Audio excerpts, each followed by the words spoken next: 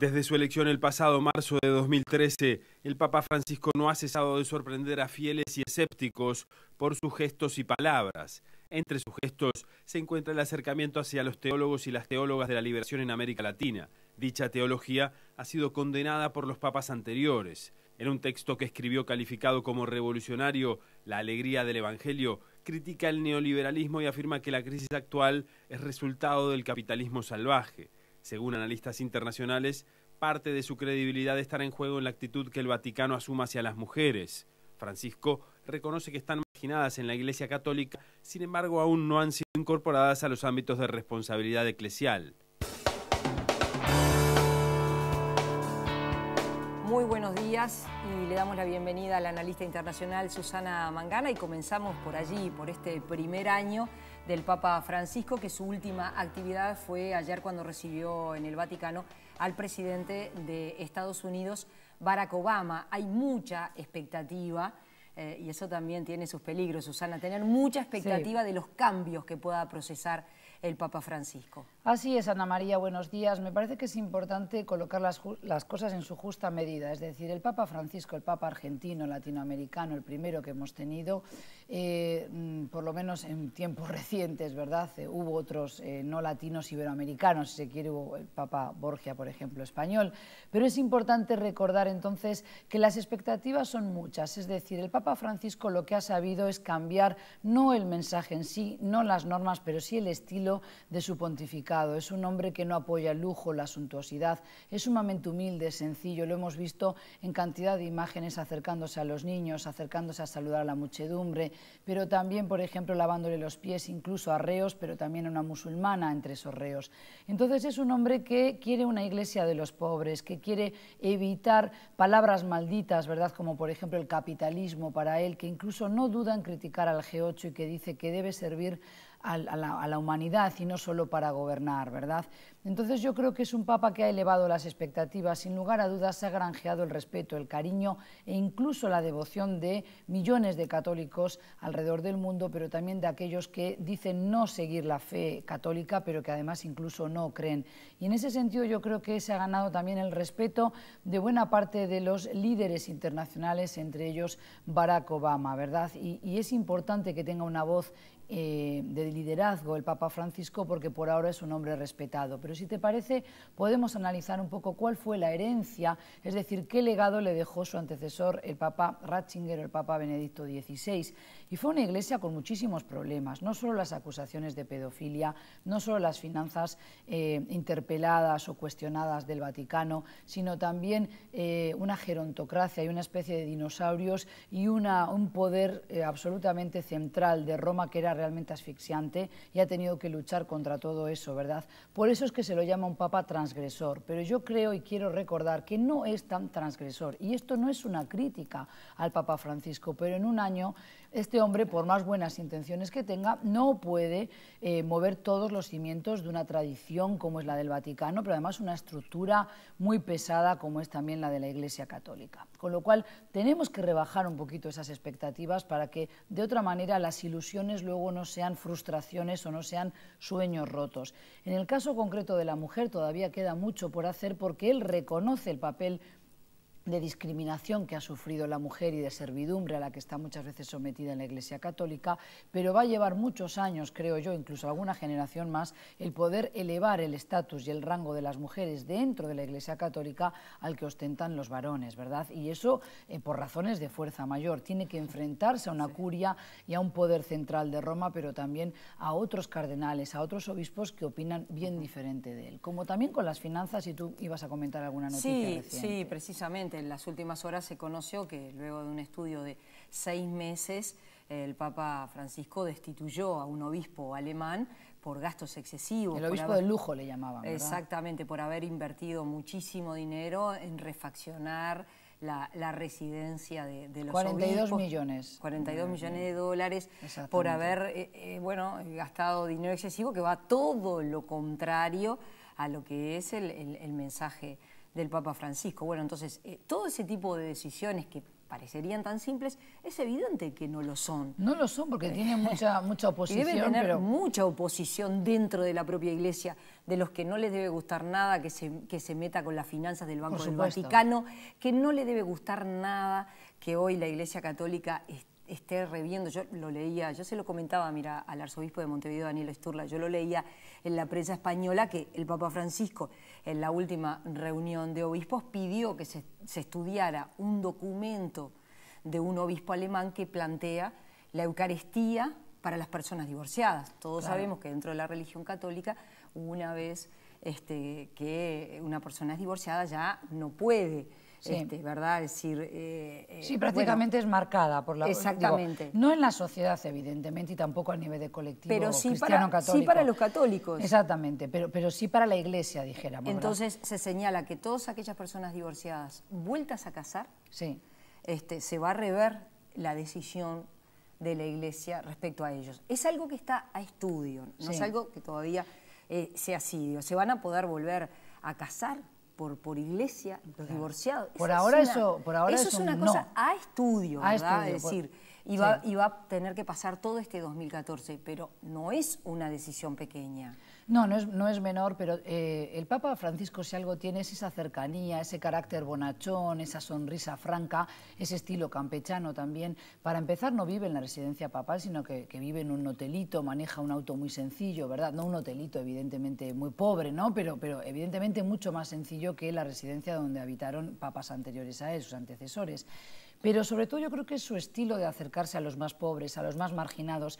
Él dice no, por ejemplo, a la política neoliberal de la exclusión, él dice no a la idolatría al dinero, él dice no a las diferencias, a las inequidades que generan violencia. Él se acercó, por ejemplo, en su primera visita al exterior, que fue a Brasil, el país que tiene mayor cantidad de católicos en el mundo, y era una visita muy esperada a nivel de Latinoamérica, pero también para todos los católicos del mundo, y era el momento álgido de las protestas, de las manifestaciones sociales del Sao Paulazo, por ejemplo, que después se gestó a raíz de esa visita del Papa Francisco, no porque él visitara, pero sus palabras de aliento que dijo a los jóvenes, quiero lío, tiene que haber lío y que la Iglesia salga a la calle y se comprometa, es un mensaje muy directo y muy claro. Pero también a la comunidad homosexual cuando les dice, ¿quién soy yo para juzgarlos, verdad? Yo creo que eso, es un mensaje muy fuerte. Muy fuerte e impensable en época de incluso Juan Pablo II y mucho menos con el Papa Benedicto eh, Ratzinger, Benedicto XVI, ¿verdad? Con lo cual, esa gestualidad, esa simbología, que se acerca mucho a la teología también del bien común, de eh, poner palabras en el debate que son malditas, por ejemplo, la ética, la solidaridad, eh, preservar las fuentes de trabajo, que es algo que en el neoliberalismo no, no, no se habla de ello. Me parece que él apuesta a eso y este texto de la alegría del Evangelio nos lo vuelve a recordar, ¿verdad? Hay capítulos sin cerrar, desafíos como, por ejemplo, la discriminación hacia la mujer, el tema de los divorciados, pero también las finanzas que siguen siendo poco menos que opacas en el Vaticano. Y para ello tiene que enfrentarse a los dinosaurios, justamente que están allí instalados, como se les llama en la jerga, en el Vaticano. Pero yo creo que por ahora hay que darle un voto de confianza, pero rebajando, reduciendo las expectativas para que realmente después no se hagan añicos esas esperanzas. Sí, realmente porque eh, es evidente que él se ha planteado un conjunto de desafíos muy importantes que no son fáciles de, resolver, aunque por supuesto la, población, mucha población en el mundo espera que se resuelvan. Eh, un ejemplo es lo que le plantea Naciones Unidas, ¿no? cuando la ONU le plantea que la Iglesia sea capaz de denunciar a la policía a los pedófilos. Bueno, eso es algo que todavía eh, se está lejos, ¿no? Esa, esa denuncia todavía no, no por lo menos este, todavía no, ha sido aceptada. ¿no? Sí, y también no llegan todavía las excusas del Vaticano, por ejemplo, para eh, los teólogos de la liberación, teólogos y teólogas de la liberación, que es un movimiento muy fuerte aquí en Latinoamérica y que él conoce de primera mano, ¿verdad? Así como también para las teólogas feministas que entienden que hay una eh, jerarquía patriarcal muy machista, por otra parte, en la Iglesia Católica y que entienden que no se está respetando la voluntad incluso de la comunidad de Jesús de hombres y mujeres iguales en el Evangelio. Eh, ¿Te acordás que en su visita precisamente a Brasil, donde la teología de la liberación es muy fuerte, allí está Leonardo Boff, es decir, es muy fuerte. Eh, bueno, había mucha especulación si los iba o no los iba a recibir. Finalmente no los recibió, pero hay un acercamiento. Hubo algunos mensajes del Papa Francisco hacia este, los teólogos y como decís vos, teólogas brasileñas que tenían mucha expectativa, que es una teología que ha sido rechazada claro que sí. por este por, condenada por, condenada por los papas anteriores y bueno y que Francisco está dando pasos de acercamiento. Vamos a ver hasta, hasta dónde se llega, ¿no? Lo que yo creo que el Papa Francisco, y es importante en la reunión con el presidente Obama, debe también insistir mucho más en conflictos internacionales como la guerra de Siria, donde también están involucrados cristianos, porque yo creo que el Vaticano puede y debe tener otro rol de liderazgo, pero de mucho mayor peso, pero sobre todo que su voz se escuche con contundencia, porque hay situaciones donde incluso desde el punto de vista de lo que es la guía espiritual de esos cristianos, yo creo que estamos eh, fallando, ¿verdad? Y me parece que el Papa Francisco es un hombre consciente de las necesidades del prójimo, lo ha demostrado incluso mucho antes de llegar a ser Papa, por eso es que se lo eligió. Y yo creo que esa cercanía a los que sufren, esa cercanía a los excluidos de la sociedad, a los marginados también, exigen de él un rol a nivel internacional que sería bueno que escuchemos su voz. Eh, Susana, vamos a cambiar de tema. Les presentamos el siguiente informe y luego les contamos. Ser nació en Macedonia, en la antigua Yugoslavia, y su familia emigró a Israel en los 50 toda la vida hablemos eh, latino en casa. Yo estoy seguro que, que, soy de familia de, de, Este carnicero de Jerusalén habla la lengua de los judíos sefardíes que fueron expulsados de España en el siglo XV. Como él, este abogado israelí de origen argentino también podría obtener la nacionalidad española si se aprueba el anteproyecto de ley presentado por el gobierno español. Y esta información que la veíamos a partir de la televisión española, eh, ha, por lo menos sorprendido esta idea del gobierno español de enviar un proyecto de ley para reconocer a los judíos sefaradíes que fueron expulsados en el 1492. Se, trata sobre todo de un anteproyecto de ley aprobado en febrero pasado que ha generado mucha polémica a nivel interno, pero también mucha expectativa fuera de España porque las cifras no están claras. Es decir, no sabemos si hay entre 500.000 y 3 millones y medio de sefardíes en el mundo. Sí se sabe que se expulsaron cerca de 200.000 judíos en 1492 cuando los reyes católicos los querían forzar a la conversión y muchos decidieron que no, que preferían eh, exiliarse y, fueron expulsados. Con lo cual muchos de ellos transitaron un periplo muy azaroso a través de Marruecos, Argelia, el norte de África hoy, hasta llegar a Turquía, donde permanecen muchísimos de ellos, pero otros muchos también acabaron recalando en toda América Latina. Por eso es que esa lista falsa que circuló a través de las redes sociales con apellidos sumamente comunes como Gómez, Sánchez, Martínez, Encina, en fin, Misraji. Misraji, que es Misrachi, ¿no? Misrachi, aparecía eh, pero sí, está en ese origen. Claro, está en ese origen, lo que pasa es que va a ser sumamente, pero sumamente difícil primero. Es un anteproyecto de ley, todavía tiene que eh, aprobarse. Segundo, eh, esa lista de 5.500, 5.200 apellidos no es la verdadera. Eh, Por otro lado, es muy difícil comprobar cómo demuestras tú que tienes origen sefardí desde el momento en que muchos de ellos no nacen de vientre judío, con lo cual si no naces de un vientre materno, o sea, de, madre judía, no, no permaneces dentro del colectivo judío, a menos de que tengas que demostrar después que has tenido arraigo, que has tenido una cercanía con España. Son todo cosas... Muy, parecería muy vagas, ¿no? Sumamente vagas, amplias, difíciles de concretar. Ahora bien, la avalancha de solicitudes, de documentos, de papeles, de información en los consulados españoles, por supuesto que en Tel Aviv, en la Embajada Española en Israel, pero también aquí en América en el mundo Latina. Dicen que en Brasil el consulado eh, se abarrotado. Claro, lo todos los que... faradíes que se, se presentaban a decir, bueno, ¿qué tengo que traer? ¿Qué tengo que hacer? Para poder obtener esta, esta ciudadanía. La, colectividad sefardí es una de las ramas dentro del judaísmo, como tenemos la rama más importante, más conocida quizás, que son los askenasíes, no importante en cuanto a, su importancia de estatus, pero sí la que, la que más, más numerosa, más numerosa, que son los judíos provenientes de Europa. Sefardíes justamente venían de Sefarad, que es lo que significaba la palabra España, ¿verdad? Muchos de ellos aducen ahora y argumentan que mantienen el ladino en sus hogares. Yo, sinceramente, no los, no los escucho hablar en ladino porque es un, derivado del español medieval que quedaría hasta ridículo expresarse de esa manera. Claro que me he encontrado con eh, sefardíes en San Francisco, Estados Unidos y aquí en Uruguay que mantienen algunas costumbres culinarias, eh, algunos guisos como las lentejas y demás que son evidentemente de, matriz española, pero en América Latina son millones, realmente no sabemos si hay hasta dos millones hoy de ciudadanos de distinta nacionalidad, paraguayos, colombianos, pero también chilenos e incluso uruguayos que van a poder reivindicar su origen sefardí.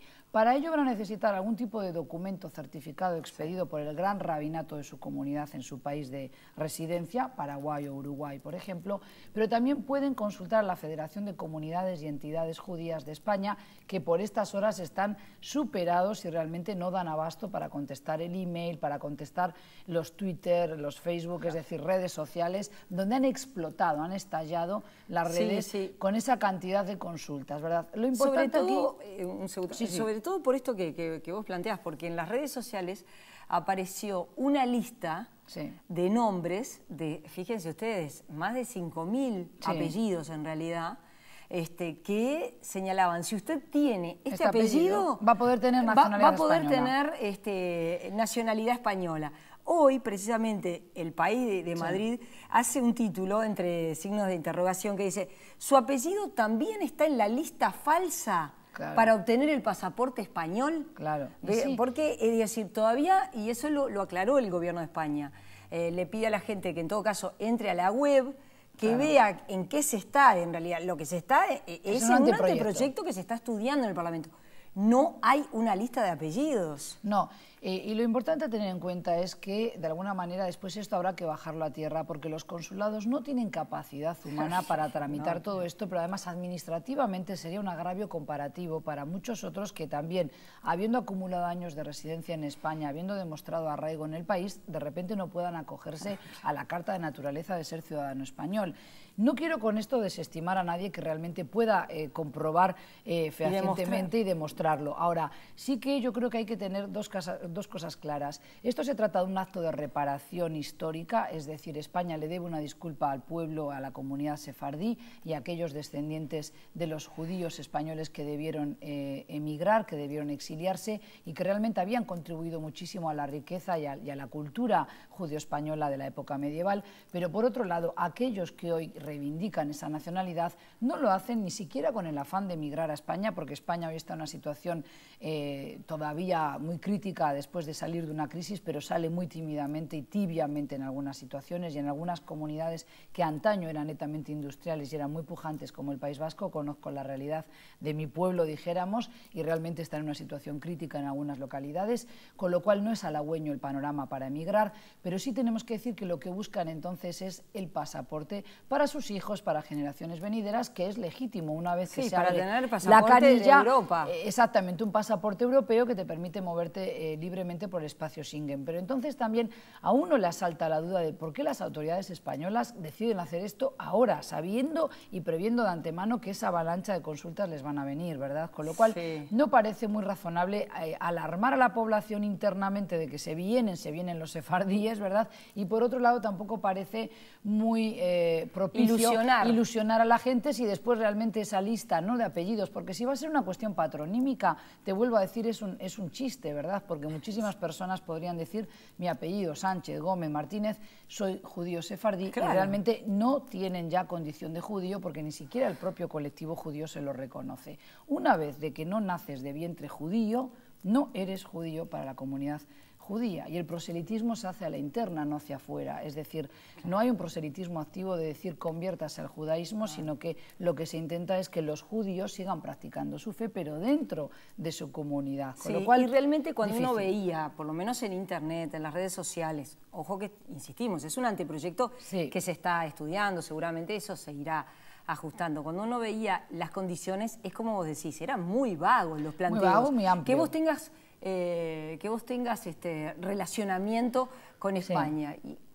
¿Cómo, se demuestra? O arraigo, Ahí está. No, solo arraigo, sino que hayas mantenido vinculación con España. ¿Cómo lo demuestras? y eso es, realmente muy difícil. Muy difícil y por eso también la ley va a tener que ser sumamente clara y aterrizada, porque de lo contrario les están pasando un fardo muy pesado a los consulados españoles, sobre todo en Latinoamérica y en Israel, ¿verdad? Que por estas horas tenemos que pensar que la mayor cantidad de sefardíes también en un solo país están concentrados en Israel. Eh, en definitiva, a los que le interese el tema de pronto pueden entrar a la web del gobierno español. Yo creo que eso sería más lógico. del gobierno pueden ponerse en contacto con esa Federación de Comunidades o Entidades Judías de España y después hay una página web que se llama sefarat.com y bueno, y ahí pueden averiguar mucho tienen toda la información. Eh, Susana, gracias. Yo pensé que íbamos a hacer español a las dos, pero las ya dos, veo que pero está, está un poco está lejos. Lo mío está un poco sí. lejos. nos vemos el Nos próximo vemos hasta jueves. la semana que viene. Nosotros los invitamos a seguir con más Infotelevisión.